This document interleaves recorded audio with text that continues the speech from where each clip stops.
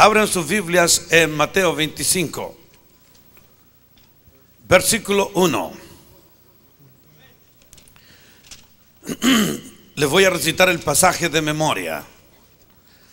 Entonces el reino de los cielos será semejante a diez vírgenes que tomando sus lámparas salieron al encuentro del esposo. Cinco de ellas eran prudentes y cinco necias. Las necias, tomando sus lámparas, no llevaron aceite consigo, mas las prudentes llevaron aceite en sus vasijas juntamente con sus lámparas. Y tardándose el esposo, cabecearon todas y se durmieron. Mas a la medianoche se oyó un clamor. Y ahí viene el esposo, salidle al encuentro. Entonces, todas aquellas vírgenes se levantaron y prepararon sus lámparas. Y las necias dijeron a las prudentes, Danos de vuestro aceite porque nuestras lámparas se apagan. Mas las prudentes respondieron diciendo, no sea acaso que nos falte a nosotras y a vosotras y dantes a los que lo venden y compradlo para vosotras. Pero mientras ellas fueron a comprarlo, llegó el esposo. Y las que estaban preparadas entraron con él en las bodas y se cerró la puerta. Después llegaron las otras vírgenes diciendo, Señor, Señor, ábrenos. Mas él respondiendo les dijo, de cierto, de cierto digo que no os conozco. Vigilad pues, porque no sabéis el día y la hora en que el Hijo del Hombre ha de venir. Dale un aplauso a Jesús de Nazaret.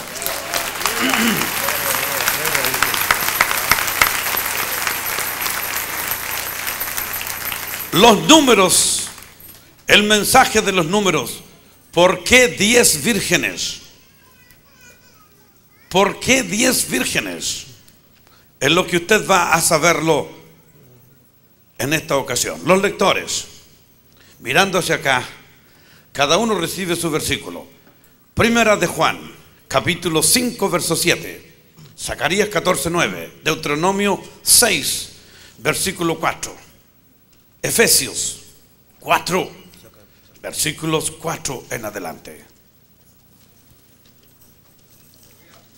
Vamos a comenzar desde el número 1 hasta llegar al número 10. 10 vírgenes. The number one, el número uno, the first, el principio.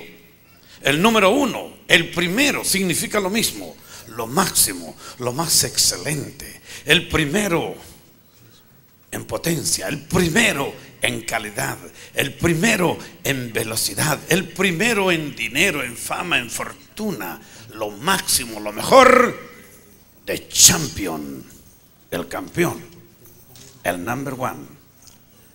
Y el único que merece ese título se llama Jesús de Nazaret. Él es el número uno. Dale un aplauso. Ah. En Apocalipsis capítulo 1, versículo 8 dice, yo soy el alfa. Alfa es la primera letra del alfabeto griego. Y la omega, la última, el primero y el último. En el medio no hay nadie. Él es el primero, Él es el último. Nadie le hace el peso a Jesucristo. El primero y el último. Lo mismo lo dice Apocalipsis 1.11. Alfa y omega primero y último. Lo mismo dice Apocalipsis 1, 17. No temas, yo soy el que vivo y estuve muerto. El verso 18. Soy el primero y el último. Apocalipsis 21, verso 6. Yo soy el alfa y la omega. Apocalipsis 22, verso 13. Yo soy el alfa y la omega, el primero. Ah, el número uno. El número uno nos explica que nuestra procedencia es una procedencia evolucionista. El número uno no fue una gorila que tuvo relación sexual con un marciano y de allí salimos nosotros los monitos chicos. No, señores. El número uno no es un Big Bang, una gran explosión que produjo toda esta cosa fantástica. Ustedes pueden creer que una materia ciega va a ser una cabeza inteligente como la nuestra que le va a colocar al hombre los ojos debajo de ese hueso para que se defienda y le coloca cejas arriba y pestañas para que el ojo se defienda y le hace un agujero aquí en el tabique nasal para que el suero pase de un lado para otro y le hace lágrimas que expresan amor, que expresan odio, que expresan rabia. Hay gente que llora de rabia, hay gente que llora de amor, de felicidad. Hay gente que llora de hipócrita. Eso se llaman lágrimas de cocodrilo.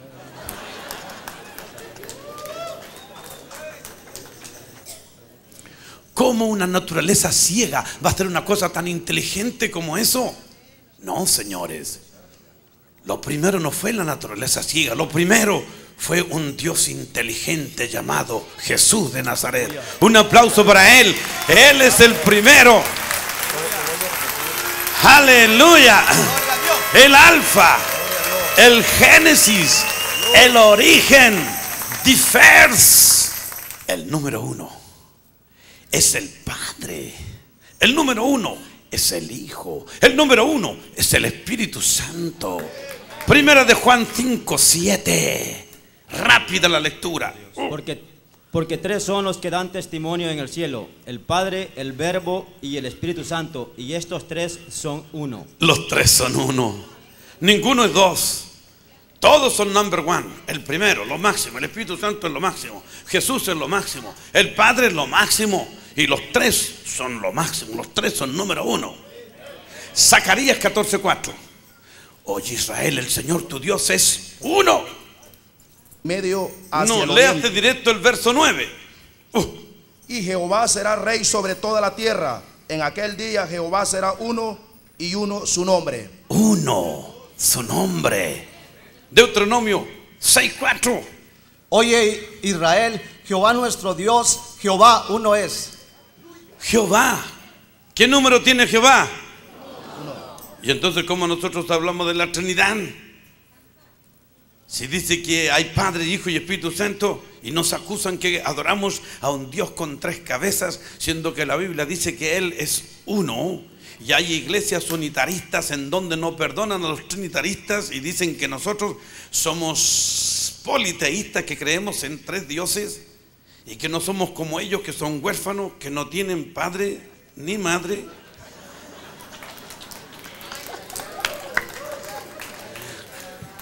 Ah, my goodness, me metí en aguas profundas aquí. Caballeros, hay dos número uno en la Biblia. El número uno es Chad y el número uno Yached. El número uno Yached es número uno sólido, no se divide. Y el Echad es compuesto. Y nunca en la Biblia se usa el sólido, el Yached para Dios. Siempre se usa el Echad porque son tres. Es una unidad compuesta. Y a veces se traduce bien. A veces se traduce así. Hagamos al hombre. Descendamos.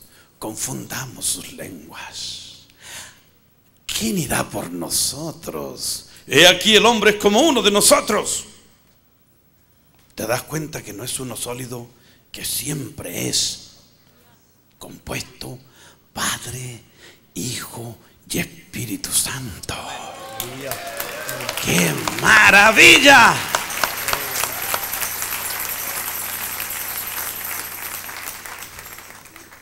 Pero ¿cómo que?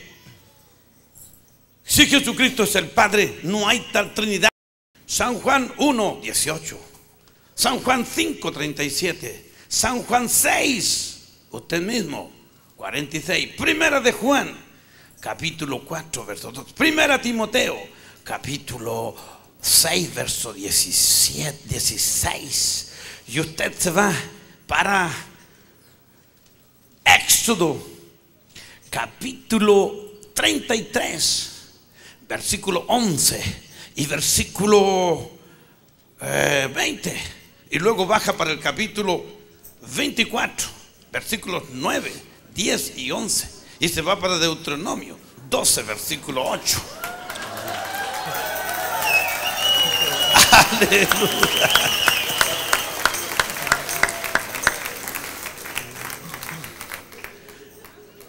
Wait a minute, preacher. ¿Cómo usted dice que son 3 y en San Juan 14, versículo 8, Felipe le dice a Jesús, muéstranos al Padre y nos basta. ¿Cómo que muéstranos al Padre y nos basta?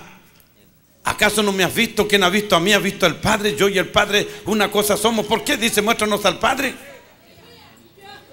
Oiga, no diga tanta aleluya porque usted está defendiéndolo solo Jesús. ¿Por qué dice muéstranos al Padre y nos basta? Yo soy en el Padre y el Padre en mí. Este pasaje da la idea de como que no hay Trinidad, que Jesús es el Padre, pero no es así. Cuando dice, quien a mí ha visto, ha visto al Padre, quiere decir, ha visto a uno igual que el Padre, con el mismo amor para ustedes, que los ama, eterno, increado y perfecto como el Padre, pero no es el Padre, porque al Padre nadie le vio jamás. San Juan 1, versículo 18. A Dios nadie le vio jamás. Entonces a Jesucristo lo vieron, entonces no es el Padre, que claro que está. 5.37. Vamos de vuelta a las hojitas. 5.37. También el Padre que me vio, que, que- perdón, que me envió, ha dado testimonio de mí. Nunca habéis oído su voz, ni habéis visto su aspecto. ¿Te das cuenta? Nunca vieron la voz, o vieron la voz del Padre, ni vieron su aspecto. En cambio a Jesucristo lo vieron. Lo crucificaron, le pegaron. ¿Cómo que no lo vieron? Entonces no es el Padre, porque al Padre nunca lo vieron, al Padre nunca lo crucificaron, y nunca le pegaron, y nunca lo escupieron. Porque se les achicharra la boca. Aleluya. 6.46. Nadie ha visto el primera de Juan 4.12. 6.46. ¿Usted? No que alguno haya visto al Padre. ¿Vio que nadie ha visto al Padre? Entonces, ¿cómo dice que Jesucristo es el Padre? Si él mismo dijo en San Juan 5.8, solo los de limpio corazón verán a Dios. Entonces quiere decir que si es el Dios del Padre, los sucios lo vieron con el corazón requete malo. A adultos, sinvergüenzas y canallas lo vieron, le pegaron, lo crucificaron y lo mataron. Entonces él no es el Padre, porque al Padre nadie le ha visto. Primera Timoteo 6.16. El único que tiene inmortalidad, que habita en luz inaccesible, a quienes ninguno de los hombres ha visto ni puede ver. No le pueden ver porque si la persona ve a Dios se muere. De- eh, eh, eh, Éxodo 33, verso 20. No podrás ver mi rostro porque el que me vea muere. Vamos. ¿Quién vio a Dios? Dijo el ateo. Y el predicador le dijo, ¿quieres ver a Dios? Quiero. Ven conmigo. Era mediodía. Quédate mirando el sol media hora sin pestañear. Dijo Y jamás. el no ateo le dijo, mi rostro". ¿piensas que soy tonto? ¿Piensas que no sé que si quedo sin pestañear mirando el sol quedo ciego? ¿Te das cuenta? Si no eres capaz de mirar a un secretario, ¿cómo quiere ver al jefe? Dele un aplauso a Jesús. ¡Júbilo!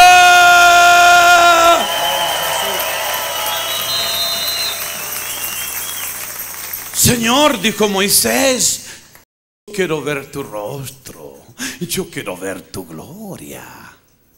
No puedes verme como hombre, porque no me verá hombre y quedará vivo. Éxodo 33, 20. Dijo, mas no podrás ver mi rostro porque no me verá hombre y vivirá. ¿Te das cuenta? El que veía al, al Padre se moría, por eso nadie lo vio. Será visto solo en el futuro. Pero la Biblia dice que veían a Dios. Usted mismo, 33.11, dice que Moisés hablaba cara a cara con el Padre. Y hablaba Jehová a Moisés cara a cara con como habla cualquiera a su compañero. Entonces, ¿cómo que nadie lo vio? Si ahí está diciendo que hablaba cara a cara con él. Baje para el capítulo 24, versículos 9, 10 y 11. Y subieron Moisés, Nadab y Abiú y setenta de los ancianos y vieron al Dios de Israel. Y había como un baldosado debajo de sus pies, pero no extendió la mano sobre ninguno de los ancianos ni de los príncipes. Y vieron a Jehová y comieron delante de él. Gracias, hermano. Usted lo dijo de memoria, hermano.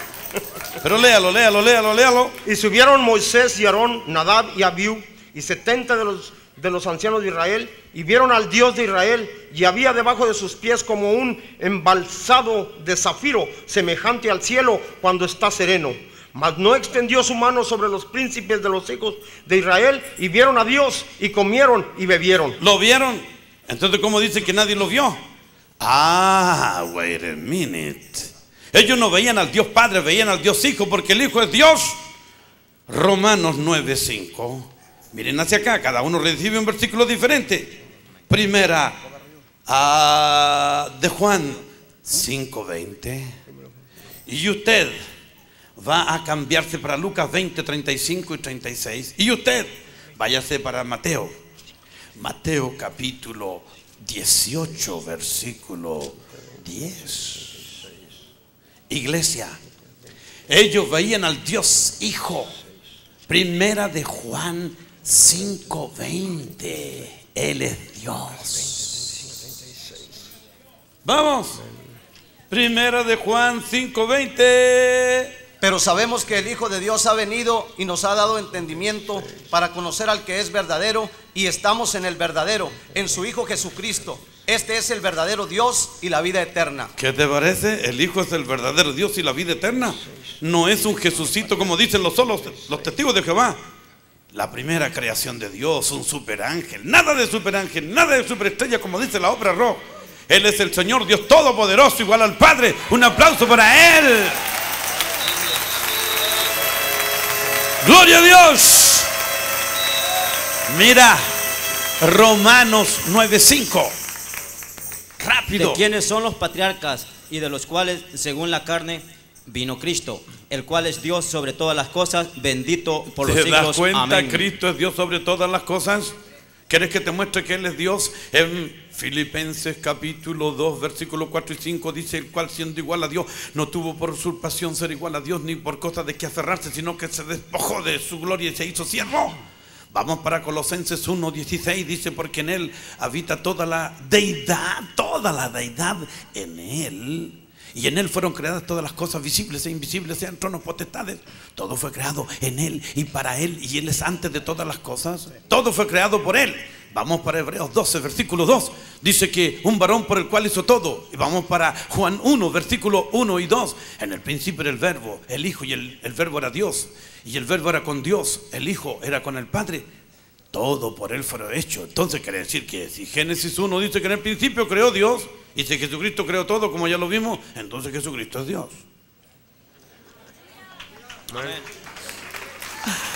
¡Ah, qué delicia! Pero la cosa no para ahí. Jesús dijo que los ángeles ven al Padre. Entonces el Padre, el Padre no es un título, porque los unitraístas dicen que es un título nada más. Vamos a ver que no es un título, que es una persona.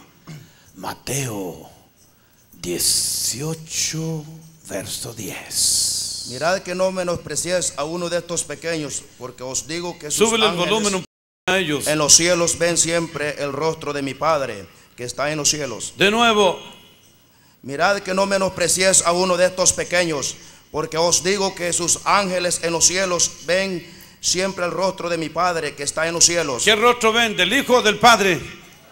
Entonces el Padre es una persona, una persona, un título, o es una persona, un título tiene rostro. Pero aquí es una persona, se le ve el rostro del Padre. Ahora atentos aquí. Nosotros tenemos ángeles y veremos al Padre.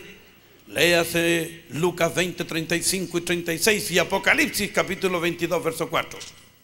Mas los que fueron tenidos por dignos de alcanzar aquel siglo y la resurrección de entre los muertos, ni se casan ni se dan, ni se dan en casamiento, Pues son, porque no pueden ya más morir, pues son, pues son iguales a los ángeles. ¿Cómo son? Y son hijos de Dios, ¿cómo son? iguales a los ángeles. Y los ángeles pueden ver el rostro del Padre. Así que nosotros veremos ese rostro. Dale un aplauso a Jesús.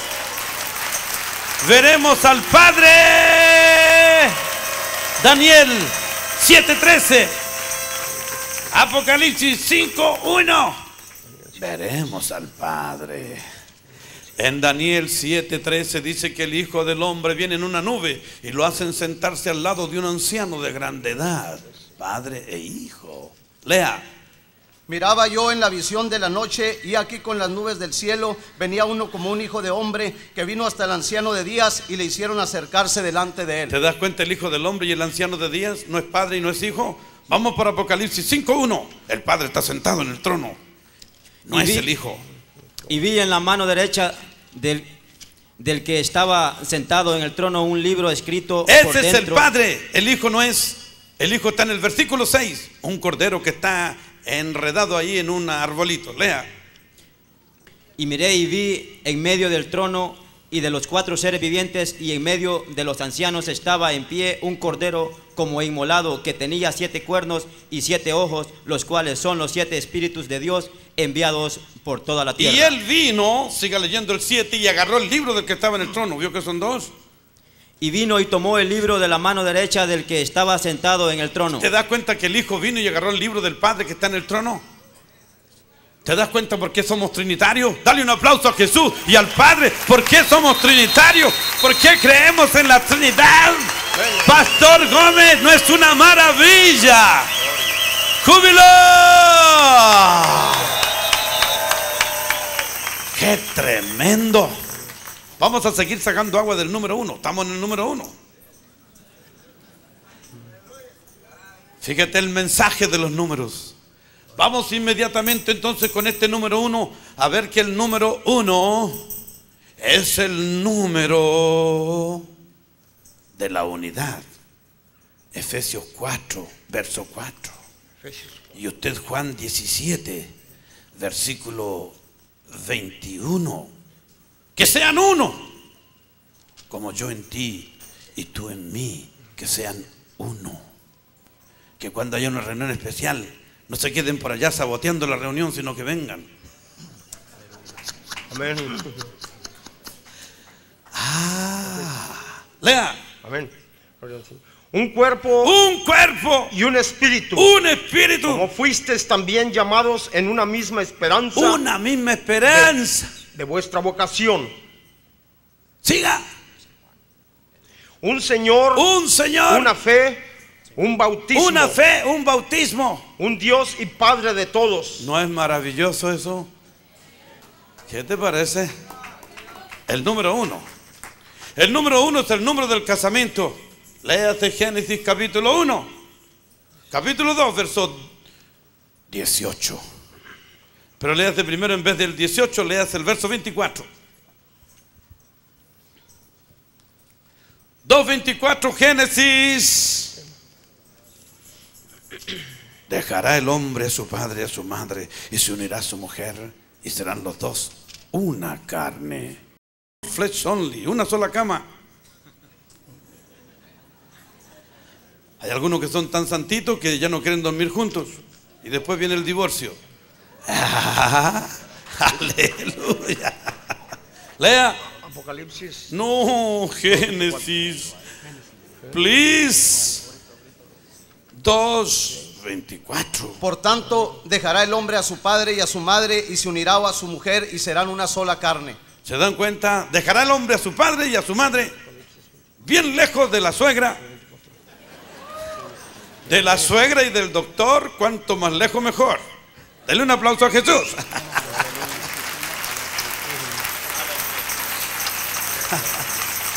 Dejará el hombre a su padre y a su madre. Número uno. Encontró San Juan 17. Amén. Y encontró el versículo que le dije, que sean uno. Más o menos verso 19, verso 20 en San Juan 17, Amén. mi filio. Lea. Para que todos sean uno, como tú, oh Padre, en mí y yo en ti, que también ellos sean uno en nosotros, para que el mundo crea que tú me enviaste. Mira qué maravilla, que sean uno. Ahora la iglesia va a hacer una marcha. Si todos fueran uno, todos vendrían a apoyar la marcha. Y entonces el mundo da las creería. Dale un aplauso a Jesús para que el mundo crea.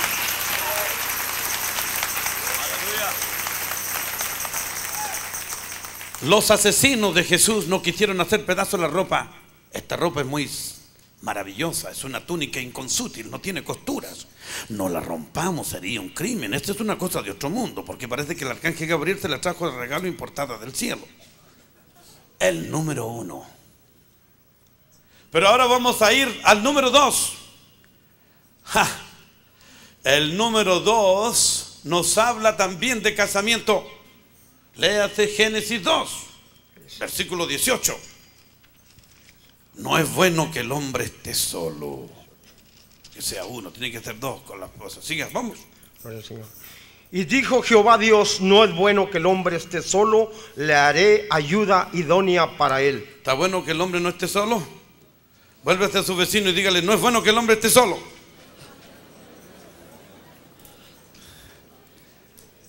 Ahora usted vuelva y dígale, peor es que esté mal acompañado.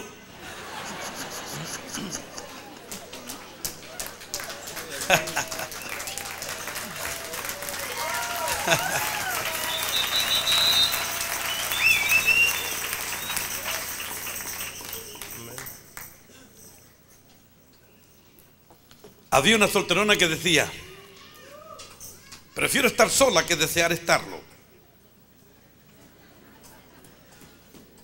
Continuamos. Dicen que el matrimonio es como un limón. El que lo come pone cara fea y el que lo mira se le hace agua a la boca.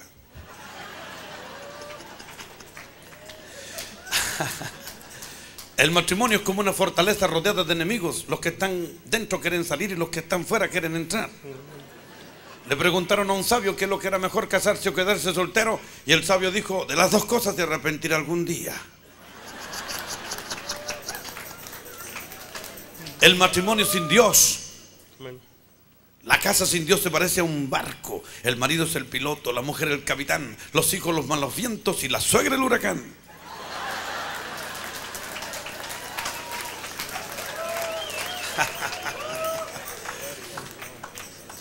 El número dos. No es bueno que el hombre esté solo. ¿Por qué? Porque el cuerpo humano tiene apetito sexual llegando a cierta edad. Y si no se satisface este apetito sexual con el casamiento, entonces viene la masturbación. La masturbación es condenada por la Biblia en Mateo 5:30. Si tu mano derecha te fuera ocasión de caer, córtala. Y la masturbación no se hace con el pie, se hace con la mano. Y la derecha incluye la izquierda. No hay excusas. ¿Está claro o no está claro? Eso lo dice la Biblia.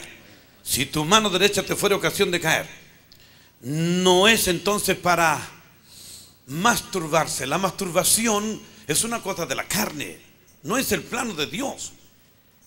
La energía masculina dentro del cuerpo hace bien, es excelente, es un tónico que ayuda a orar, a estudiar uh, y a ganar almas, es una bendición. Ahora el derramen sexual de semen masculino, Levítico 15:15 15, es pecaminoso. Cualquier hombre que tenga derrame de semen involuntario con el sueño erótico, porque está lleno de tensión sexual, porque no se casó, entonces dice que quedará inmundo y nadie inmundo entra al cielo, así que la cuestión es negativa. Por eso que no es bueno que el hombre esté solo, porque cuando está solo y no se ha casado y tiene esa energía, entonces empieza a molestar niños pequeños, niñitas pequeñas y hacer tonterías con las crianzas. ¿Eh? Y si no hace eso, hacen tonterías hombres con hombres, uno hace de mujercita, otro de, de varoncito, y se tocan y les entra un demonio de homosexualidad y quedan convertidos en gays. Denle un aplauso a Jesús, aleluya. No es bueno que el hombre esté solo. Y si no es bueno, es malo. ¿Por qué es malo? Porque si no cometen homosexualidad, si no violan niños pequeños, si no se masturban, entonces se entran en fornicación. Con la amiguita ya duermen y no se casan nunca, porque si tienen sexo gratis. Por eso es que los matrimonios, los noviazgos deben ser cortos. Porque cuando las cocineras prueban mucho la olla antes del almuerzo, a la hora del almuerzo no tienen hambre.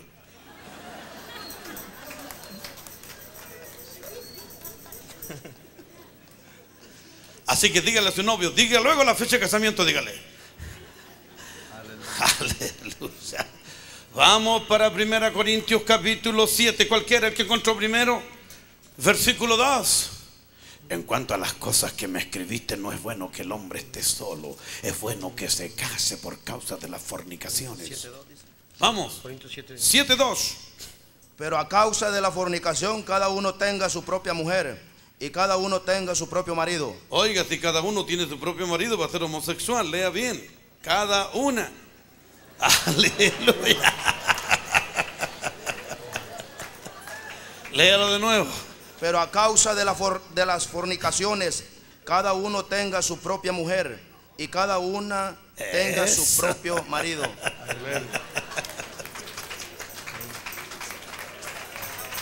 ¿Eh? Qué cosa tremenda. Y si no tiene don de continencia, que se case. Verso 9. Pero si no tienen don de con- continencia, cásense, pues mejor es casarse que estarse quemando. Yo estoy viendo que está saliendo humo por todos lados. Aleluya. Pero hay algunos que tienen don de continencia y son solteros santos, temerosos de Dios. Hay gente que se consagra y sacrifica la carne como Elías, como Juan el Bautista, y habrá 144 mil valientes que no se contaminaron con mujeres y estarán cantando por el Señor por la eternidad. Un aplauso para el Señor Jesús.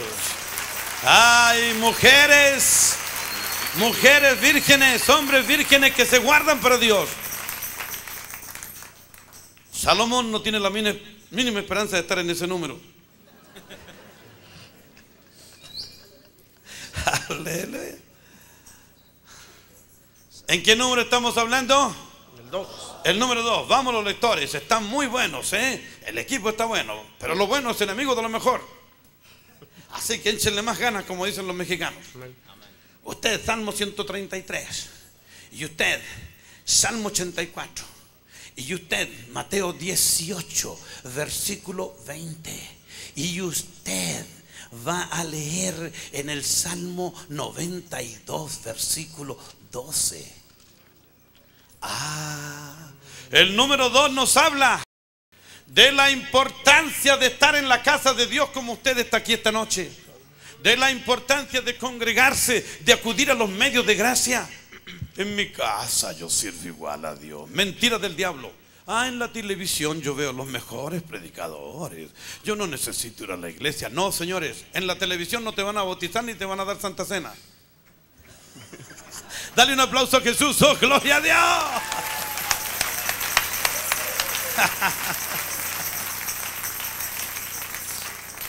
no dejando de congregaros como algunos tienen por costumbre. Digan todos, no dejando de congregarnos como algunos tienen por costumbre. Cristianos camellos que toman agua cada 15 días. Llenan la joroba y desaparecen. El pan nuestro de cada día. Dios no quiere cristianos con microwave. Todos los días hay que buscar el alimento fresco en la fuente que es Jesús de Nazaret.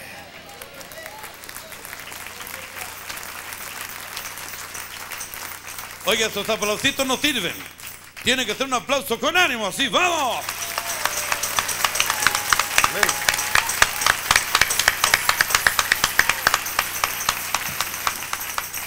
Mira las bendiciones para los que se congregan.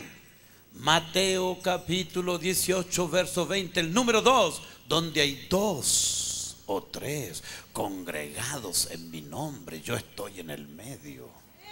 Léalo. Porque donde están dos o tres congregados en mi nombre, ahí estoy yo en medio de ellos. ¿Se das cuenta el valor del número 2? Nos está hablando de congregarse. No hay bendiciones para el que se queda solo en casa. No hay bendiciones para el Robinson Crusoe, que vive en la isla de los caprichos y de las mañas. La bendición está allí. Salmo 133.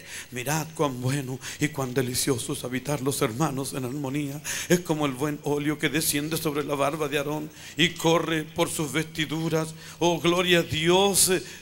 ¿Dónde están los hermanos en armonía? Porque allí envía Jehová bendición y vida eterna. Es aquí, en la casa donde Dios envía bendición y vida eterna. Lea. Mirad cuán bueno y cuán delicioso es habitar los hermanos juntos en armonía. Mira cuán bueno, mira qué lindo se ven esa gente allí. La cámara apunte para allá. Pero para allá, para allá no hay para acá, mijo. Mira cuán lindo, mira este grupo allá. Mira qué gente maravillosa. Mira este grupo de acá ahora. Aleluya. Mira ese grupo de ahí. En armonía, todos juntos, con las caras son. Mira este grupo de acá. Mira qué preciosura. Mira este grupo de allá. Levanten la mano digan que están felices en la casa de Dios. Oh, gloria a Dios. Un aplauso para Jesús. Cuán bueno. Cuán delicioso. Sigue leyendo. Es como el buen óleo sobre la cabeza, el cual desciende sobre la barba, la barba de Aarón, y baja hasta el borde de sus vestiduras. ¿Por qué? Sigue leyendo. Como el rocío de Hermón, que desciende sobre los montes de Sión, porque ahí envía Jehová bendición y vida eterna. ¿A dónde? Donde hay dos o tres congregados en el nombre del Señor. Allí envía bendición y vida eterna. Vamos inmediatamente para el Salmo 84. Es el Salmo de los que se congregan. Cuán amables son tus moradas, oh Jehová de los ejércitos. Cuán amable es la casa del Señor. ¿Qué más? A él a mi alma y aún ardientemente desea los atrios de Jehová. Anhela mi alma. Ardientemente desea los atrios. Mira, estos son los atrios de la casa de Jehová. Estas sillitas. Tú tienes una sillita en casa más blandita, pero esta vale más. ¿Qué más? Mi corazón y mi carne cantan al Dios vivo. ¿Qué más? Aún el gorrión haya a casa y la golondrina nido para sí. Donde, Mira, ¿qué más? donde pongan sus polluelos cerca de tus altares, oh Jehová de los ¿Escuchaste ejércitos. el gorrión y la golondrina? Hacen en la casa del Señor y crían sus pollitos allí. Mira qué lindo es ver esos padres de estas personas, de estas niñas, de estas niñas, haciendo nido en la casa de Jehová.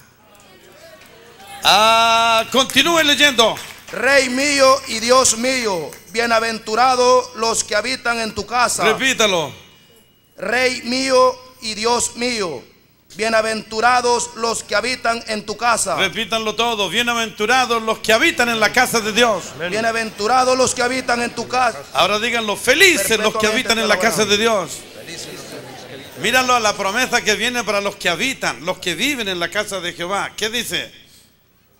Perpetuamente te alabarán.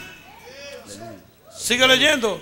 Bienaventurado el hombre que tiene en ti su fuerza. No, te saltaste la promesa que estoy diciendo. Perpetuamente te alabarán. ¿Te das cuenta? Sabotaje.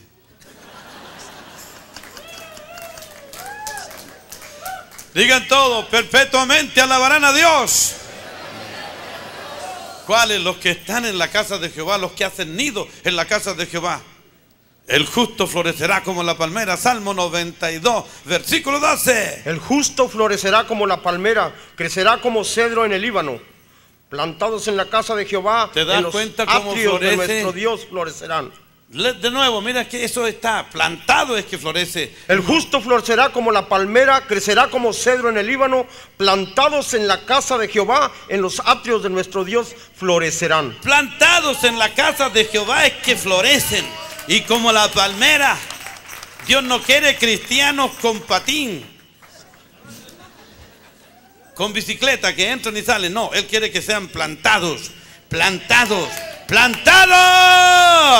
Amén. De Dios. Plantados.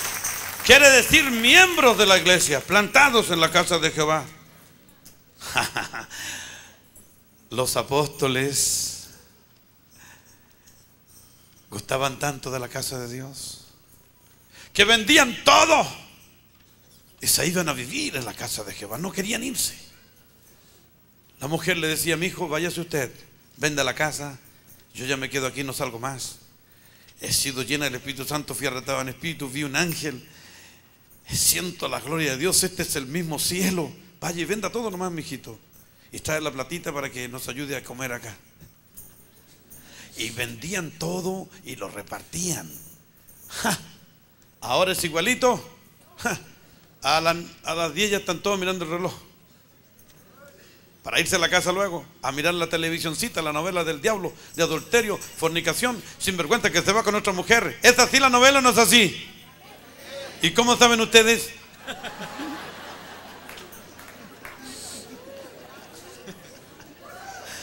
Dale un aplauso a Jesús, oh gloria a Dios. ¡Júbilo!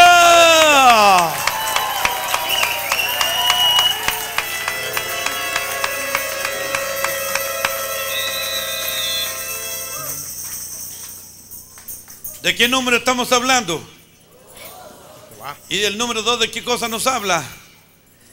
De la importancia de con, de la importancia del casamiento.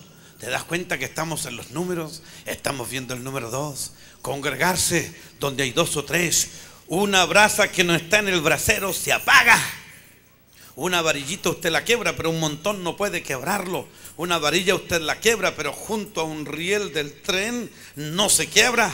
La iglesia es la columna de la verdad. Aquí tú creces firme con esta columna. Sin columna, tú eres un paralítico. No te puedes ni parar. La iglesia es la columna del cristiano. Dale un aplauso al Señor por esa columna. Columna de la verdad.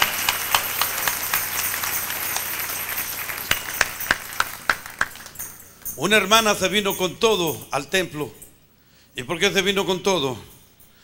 Es que mire, mi marido es predicador de la iglesia. Y en la iglesia predica requete bien. Es buen marido. Y en la casa no sirve para nada. Por eso que me vine con todo porque me voy a vivir con él en el templo mejor.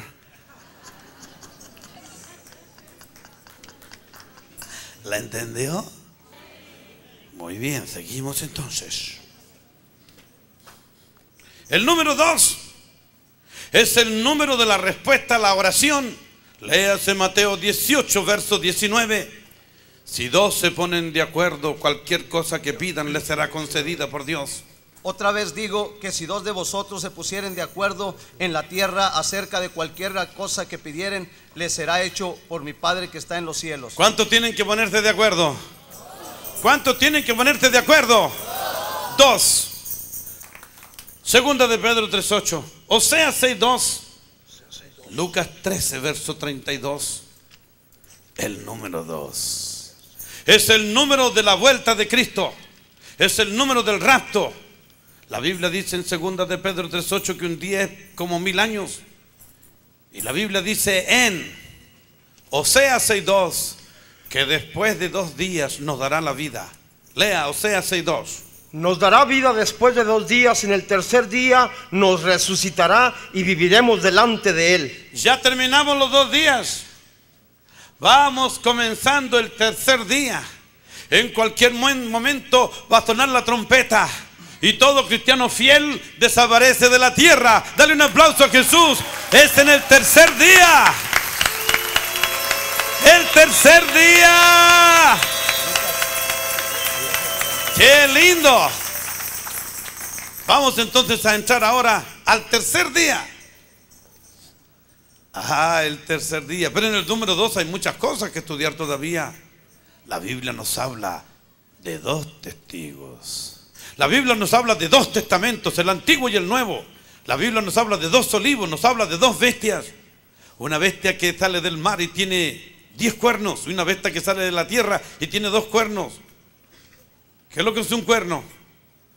¿Quién, sabe lo que es un cuerno? ¿Qué es lo que es un cuerno, hermano? Un rey. Un rey. ¿Qué es lo que son diez cuernos? Diez reyes. ¿Y qué es lo que son dos cuernos? No, dos cuernos es adulterio.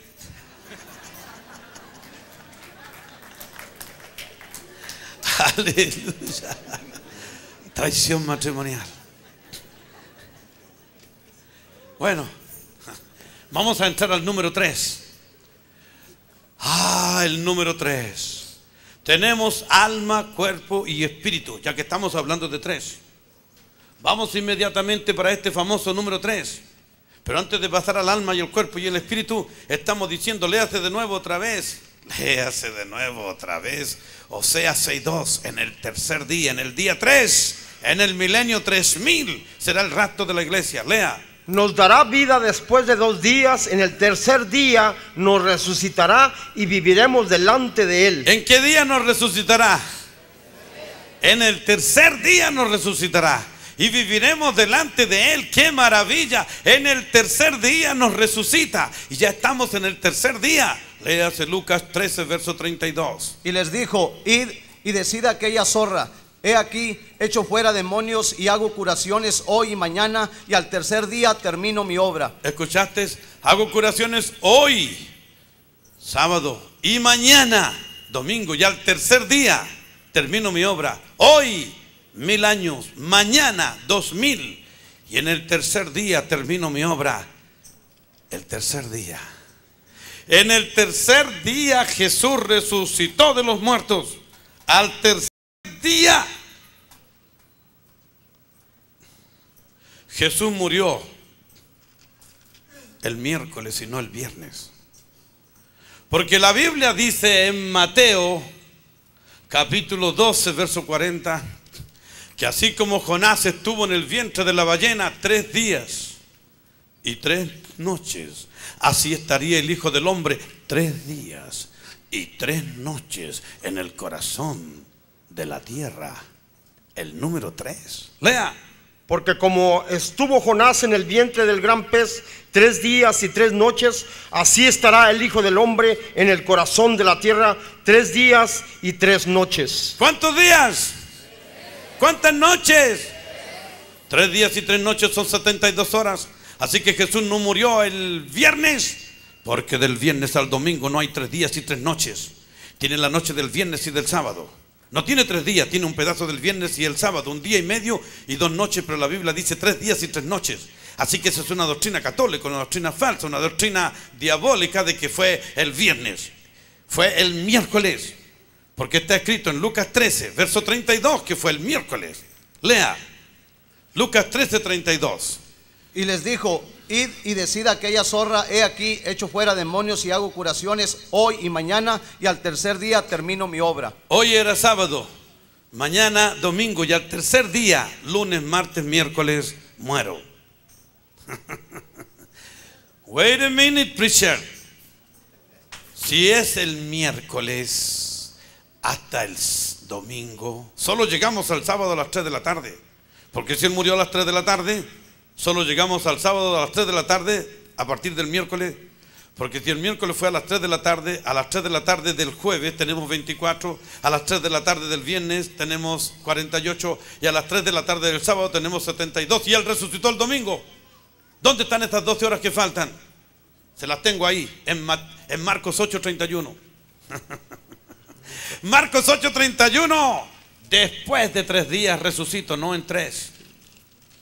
Eh, 12 horitas más. Y comenzó a enseñarles que le era necesario al Hijo del Hombre padecer mucho y ser desechado por los ancianos, por los principales sacerdotes y por los escribas, y ser muerto y resucitar después de tres días. ¿En tres días o después? Digan todo después. Y denle un aplauso para Jesús. ¿Te das cuenta la profundidad de la Biblia? ¡Júbilo! Pero mira ahora, en, en el número 3 todavía. El número 3 nos habla de Trinidad, Padre, Hijo y Espíritu Santo. Primero de Juan 5, 7. Mateo 3, 16. Trinidad, Padre, Hijo, Espíritu Santo. Son tres. Primero de Juan 5, 7. Porque tres son los que dan testimonio en el cielo. ¿Cuántos dan testimonio en el cielo? Tres. ¿Qué más?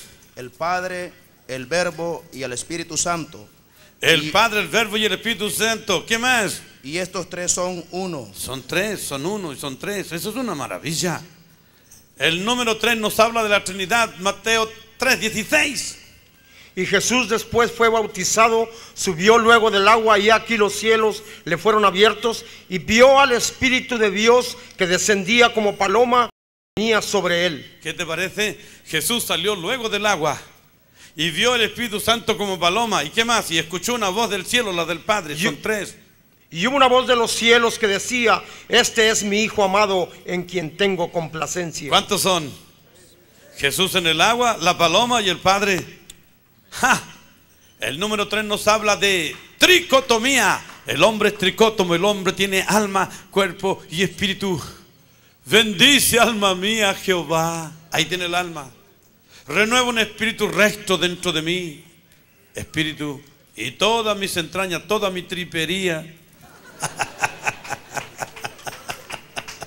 Alabe su santo nombre. Ahí están los tres. Para que vuestro cuerpo, vuestra alma y vuestro espíritu sean enteramente santificados para el día del Señor.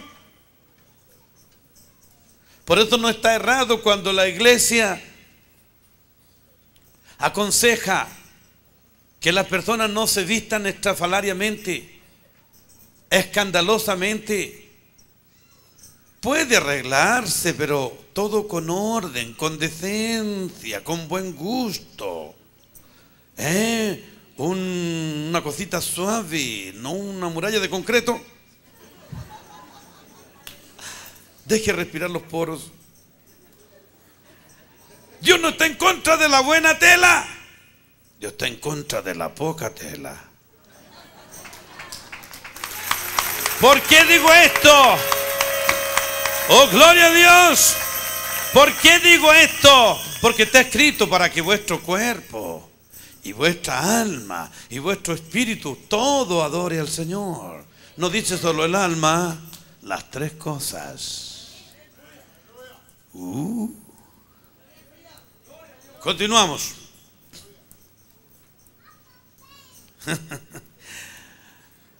El número tres, alma, cuerpo y espíritu.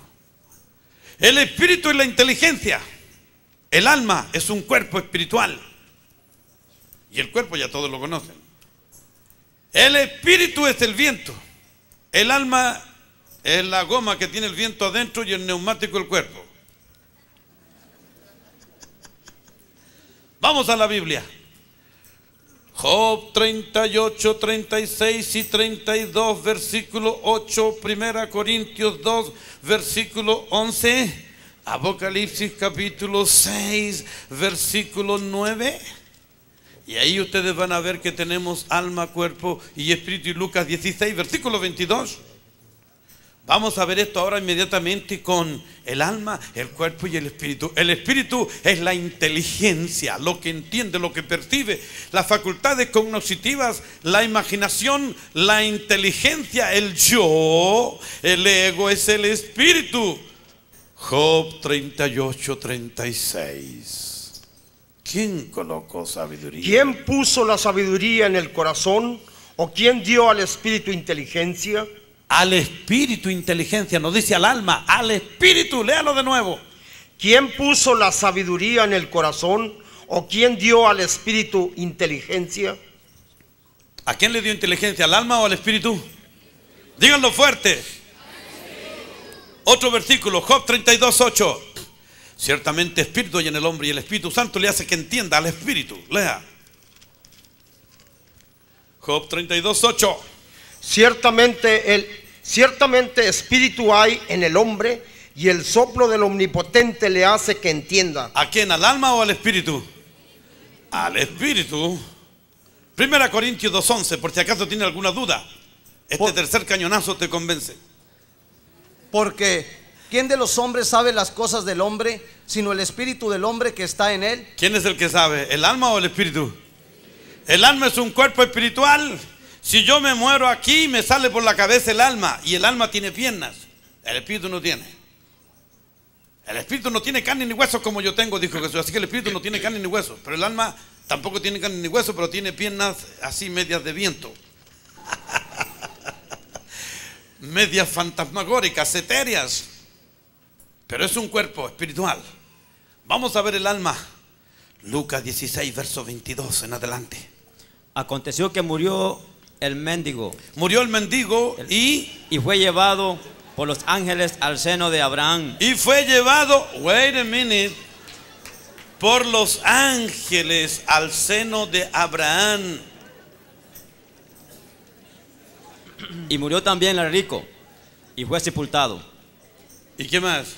Y en el Hades alzó sus ojos, estando en tormento. Escuchen, léalo de nuevo todo. Escuchen ahora. Aconteció que murió el mendigo y fue llevado por los ángeles.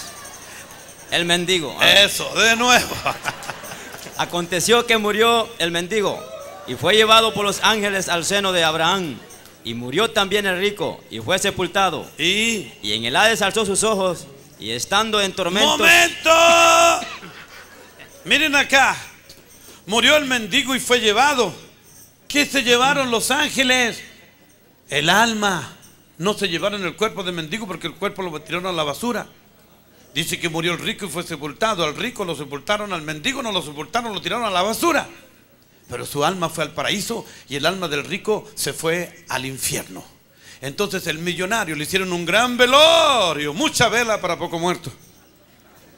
Pero él se fue al infierno y el otro sin velorio lo tiraron a la basura y se fue al paraíso.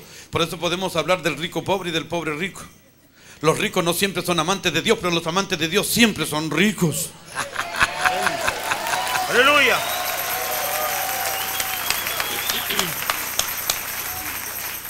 ¿Por qué los ángeles llevaron el alma? Porque el alma no sabe ahora dónde queda el camino. No hay ningún sign que diga heaven, hell, que diga infierno y cielo. El alma conoce el camino. O sea, el- el- los ángeles lo conocen. Fue llevado por los ángeles al seno de Abraham. Y murió el rico y fue sepultado. Y en el infierno levantó los ojos, pero si había sido sepultado, ¿qué ojos levantó? Si estaba muerto, el cadáver no abre los ojos. Los ojos del alma. Si yo muero en este momento aquí, sale otro Darío Salas por mi cabeza y, y se queda mirando el cuerpo ahí. Si tú te mueres ahí o eres arrebatado en espíritu, tú sales y ves el cuerpo.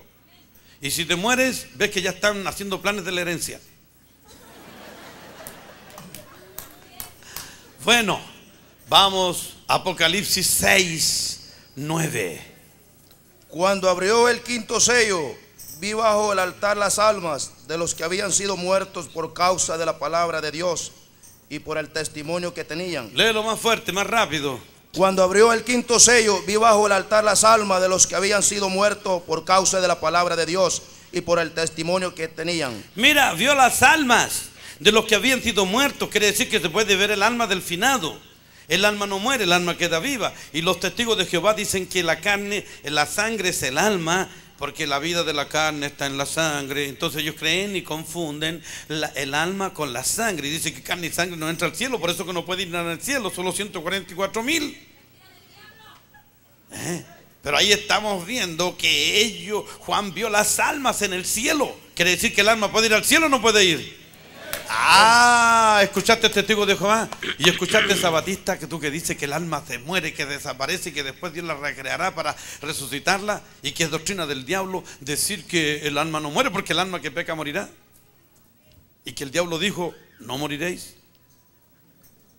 Pero morir no quiere decir que termina, quiere decir que se aparta de Dios porque hay tres clases de muerte, la muerte espiritual, la física y la muerte eterna. La muerte física es la separación del alma del cuerpo, la muerte espiritual es la separación del alma de Dios y la muerte eterna es la separación para siempre del alma de Dios.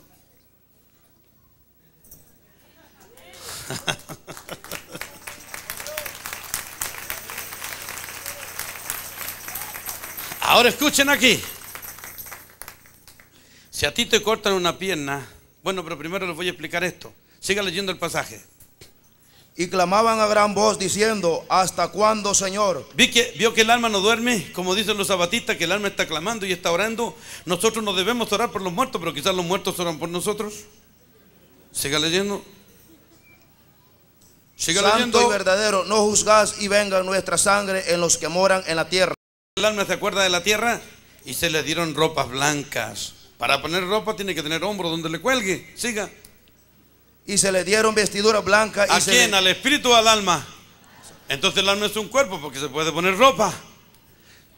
Si a ti te cortan una pierna en la rodilla, a ti todavía te duele el pie y no lo tienes. ¿Qué es lo que te duele? El pie del alma.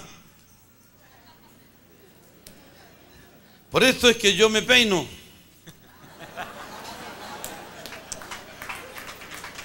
¿Qué es lo que me peino? Los pelos del alma.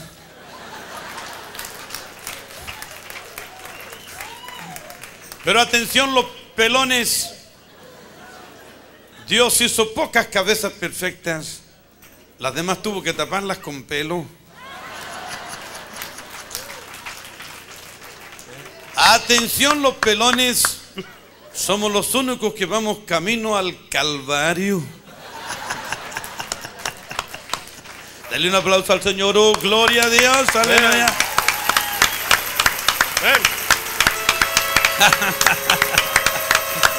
Aleluya. Bueno, el número tres, alma, cuerpo y espíritu. El número tres, el tercer milenio, en el tercer día de la vida. El número tres, Padre, Hijo y Espíritu Santo. Vamos para el número cuatro. El número cuatro, cuatro puntos cardenales. Norte, sur, este, oeste. Los cuatro vientos del cielo. Cuatro ángeles, Apocalipsis 7, versículo 1, sujetaban los cuatro vientos del cielo para que no sople sobre ningún árbol. Léase, Después Apocalipsis. de esto vi a cuatro ángeles en pie sobre los cuatro ángulos de la tierra Cuatro ángeles, cuatro ángulos de la tierra. ¿Qué más? que detenían los cuatro vientos de la Los tierra cuatro vientos. ¿Qué más? para que no soplase viento alguno sobre la tierra, ni sobre el mar, ni sobre ningún árbol. ¿Cuántos ángeles eran? Cuatro. Váyase para el capítulo cuatro, versículo cuatro. Y aparecen cuatro bestias. Lea. Y alrededor del trono había 24 tronos. 24 tronos. Y ¿Qué vi, y vi sentados en los tronos a 24 ancianos Olia, 24 ancianos. ¿Qué más? vestidos de ropas blancas como coronas de oro, No, y. con coronas de oro en sus cabezas.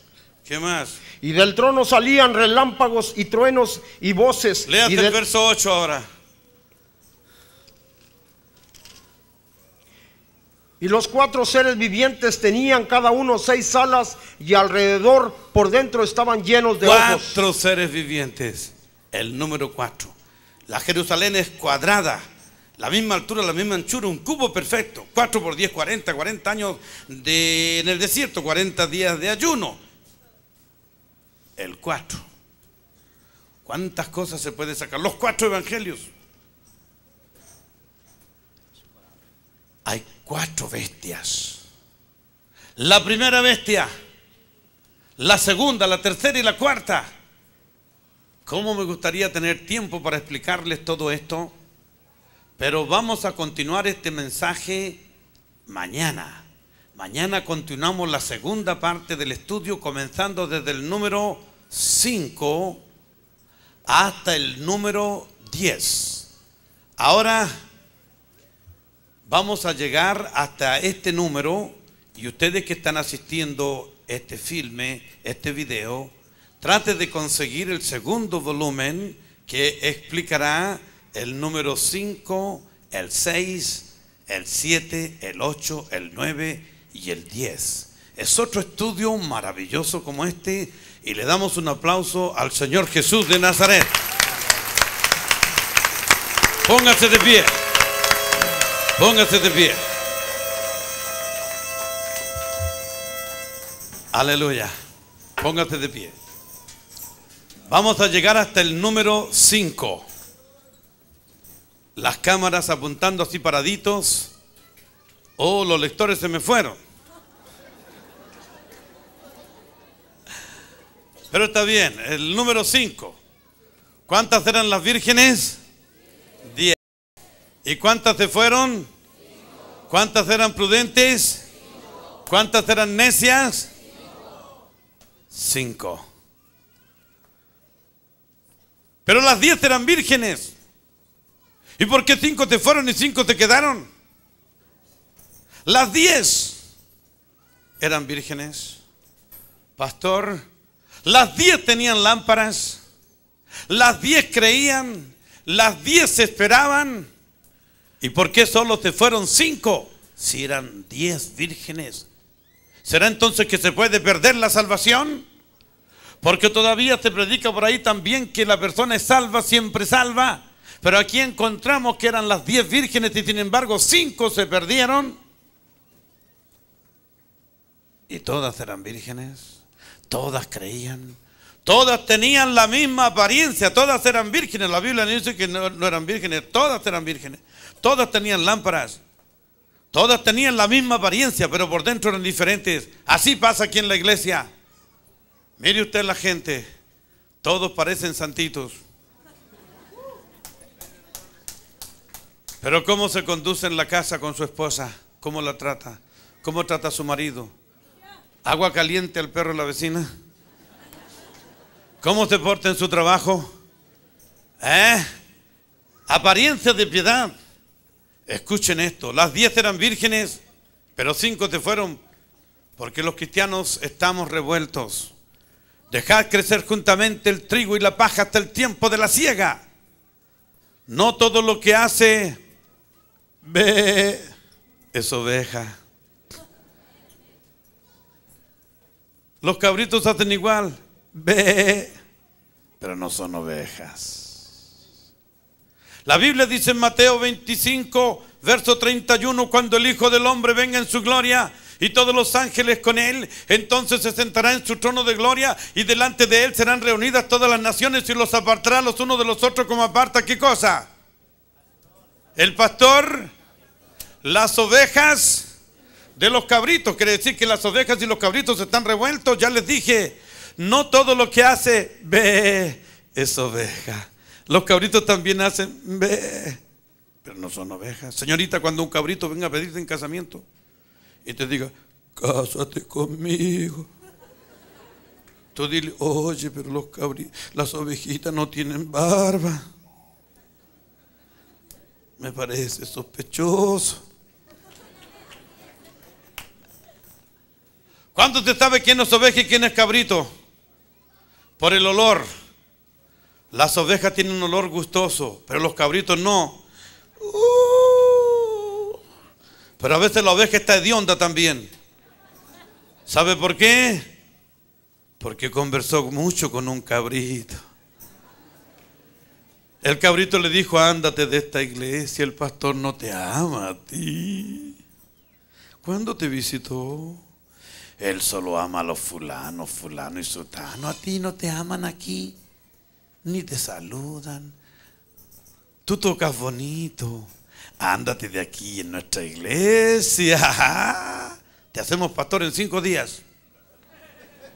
El cabrito hablando. ¿Cómo se sabe quién es oveja y quién es cabrito?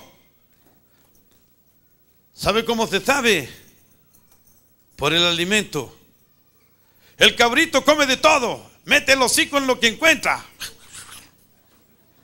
Pero la ovejita no. La ovejita solo come diet alfalfa.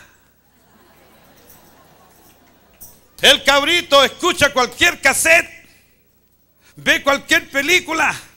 El cabrito traga de todo. Pero la ovejita solo acepta la doctrina de su pastor. Dele un aplauso a Jesús, oh gloria a Dios. La doctrina sana de su iglesia. Escucha cassette sanos. Libros sanos. Gloria a Dios. Júbilo. Mañana. Mañana continuamos este estudio. Con el número 6 en adelante. ¿Cuál es el número de la bestia?